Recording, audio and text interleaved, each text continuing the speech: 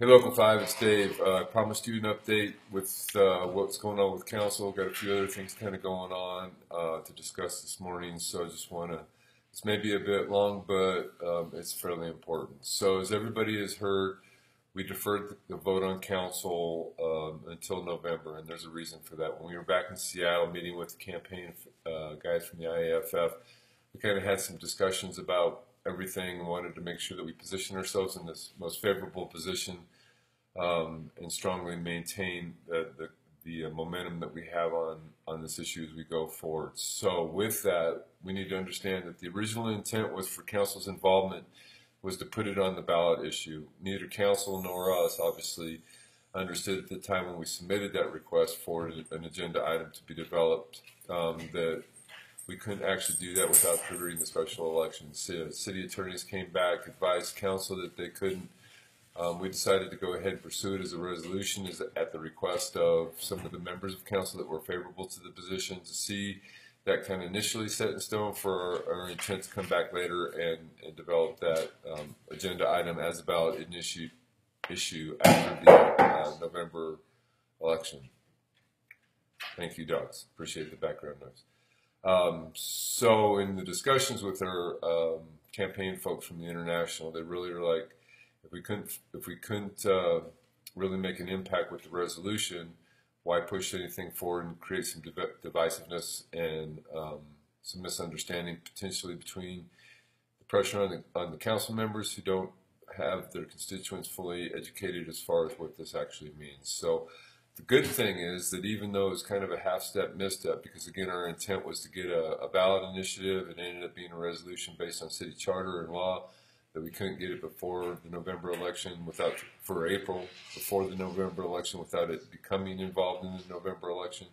And we definitely want the, the it on the municipal election in April. So we had to step back from that and uh, and defer. So we will be bringing an initiative before council in November. We're still going to move forward in our in our signature gathering, and we're going to actually develop separate language than what council would have had. Um, and there's pros and cons to that, and and to that is going to be um, instead of council's involvement, it would be to a vote of the people. This is going to actually be a great position for us in November because it's going to it's going to have we're going to have options with this. And so we're going to look at what's in the best interest and also uh, gain either the support of council or to be able to establish our own initiative. And so the options that we're going to have actually going to give us a better position in the end. So in all, this actually works out to our favor. Um, if you have any specific questions about exactly which either one of those um, ballot initiatives look like as far as collective bargaining agreement, how the resolution would either come to an from an impasse uh, from an arbitrator, to a vote of the people or to council, don't hesitate to give myself or John Roy a call, and we can clearly uh, describe that for you. But all that being said, we definitely appreciate everybody's um, intent on coming out on Tuesday. But again, just to base the direction on um, what's going on with, with that ballot initiative and the legality of the city charter and so forth, it kind of um, ended up being better in our best interest at this moment to defer it to the November ballot and have council vote on it when it would actually count for our original intent, which to get it to, to be placed on the ballot. So I know that's kind of rambling, and hopefully that made sense. Um, but the fact is, is that we're really in a good position on that. Being also being said, um, we've got a couple other issues or a couple items. I'm sorry, coming up. One of them pretty quick. Uh, one in four days actually. So we've got a local five ale that's going to be developed this year.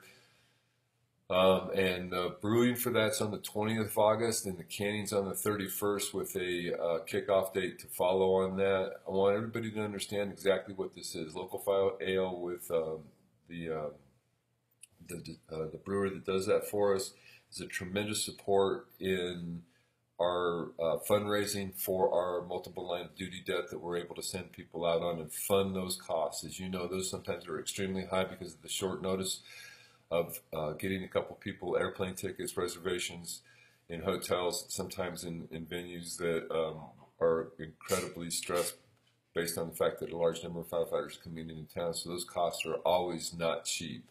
And to that point, we need to always make sure that we have enough available funds uh, for our local to be able to send those folks to obviously support the multiple line of duty desk, given the fact that we're actually the host for the Fallen Firefighter Memorial. This initiates that process um, to make sure we get good contacts and, and develop those relationships to make sure that the families are taken care of our fallen brothers and sisters. So, August 20th, um, it's a blast. Come out if you've never done it before. Meet some new people, uh, especially the youngsters. Uh, reach across some of the shifts.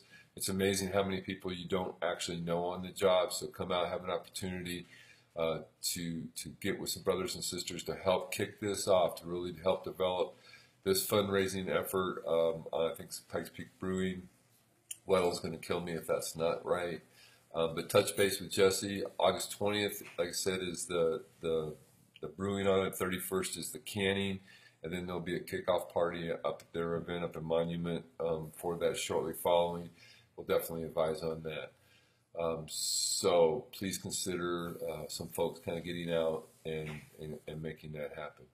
We've obviously got the Fallen Firefighter Memorial coming. We had um, TextGate last night, and you got to admit, that's some great stuff, and it is due to a technical difficulty. We have in the past sent out multiple texts like that that basically come across everybody's phone as an individual text, and we don't get that that multiple um, response. It was kind of funny. I was talking to my wife last night as my phone first lit up, and I told her I said it's going to be 15, 20 texts, and it's going to go firefighter-ish, and it was. And um, some of you guys are some pretty creative individuals, and I appreciate that. Some folks Mm, maybe walk that thin fine line of that being reasonable as we ended up having obviously chiefs involved in that as well so um, sometimes we should kind of take that into consideration before we reply that being said the importance of this issue and the event that it represents and the fact that we're going to have a huge year this year i think we're at right at or just below 270 it's one of the biggest years that we've had outside of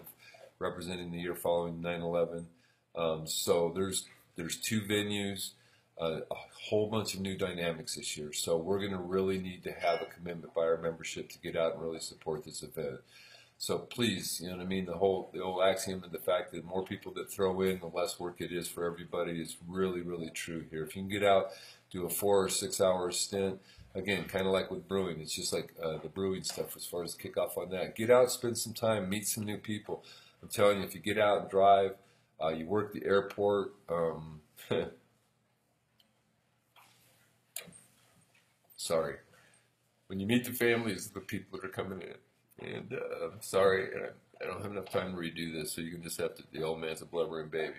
To meet the families of the people that are coming in, um, to mem- to memorialize their fallen. It's an incredible, incredible thing, and I promise you that if you've never done it before, you come out to spend a short short amount of time supporting this effort, you'll come back because it's impressive. This is something that's just represents exactly what this local and what this union means. Is we stand together in solidarity. We take care of each other from beginning and unfortunately sometimes to the very end. But we want to make sure that those that have given the ultimate sacrifice are taken care of and memorialized um, in right standing. So it's an incredible, impressive time.